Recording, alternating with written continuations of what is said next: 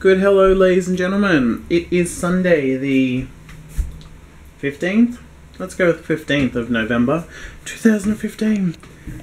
And I have had a super, super bludge day, so go to intro and I'll have a, a bit of a talk to you.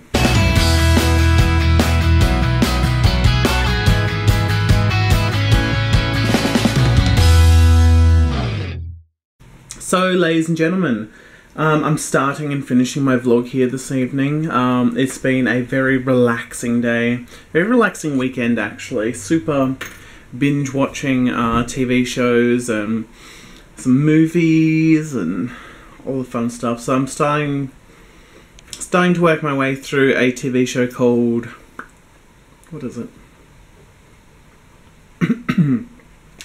I want to say From Dawn Till Dusk, but it's not. From Dusk Till Dawn. I don't know. It's it's based on the old uh, old vampire movie. It's pretty much uh, centered around that, so uh, it's not too bad. It's not amazing, but maybe it will get better. So I think the second season's just finished, so I'm uh, uh, kind of working my way through the first one. You know, chronologically, I'm not going to start in the halfway through season two, then jump to maybe the end of season one, then the start of season one, the middle, end of season two. No, it's not how I roll. Like my chronological order. It's the history teacher in me. Chronological order's a must. Uh, but besides that, it's just been just been nice to relax and do nothing all weekend. So back to work tomorrow.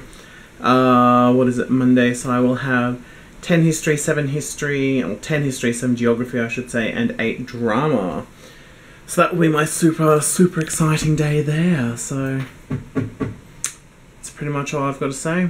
I'm gonna watch, I think, one more episode of this lovely TV show, then listen to a podcast and crawl into bed. So uh, that's pretty much it. I will see you lovely people tomorrow at some point, maybe in the morning, maybe in the afternoon, maybe at night. We'll just have to wait and see.